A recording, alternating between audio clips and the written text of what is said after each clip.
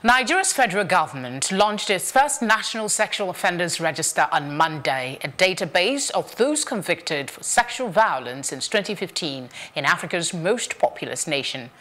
The record will be available online to better help the public, state bodies and police conduct background checks and identify repeat offenders.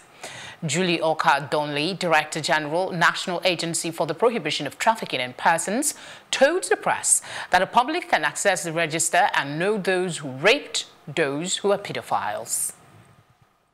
And the Sexual Offenders Register is a register that has the details of all sexual offenders where the public has access to.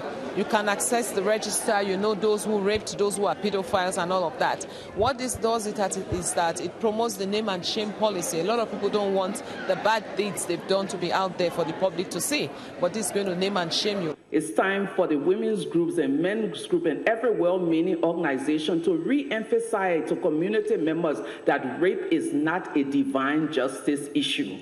Leaving it to God is not an option. Seeking justice is an option.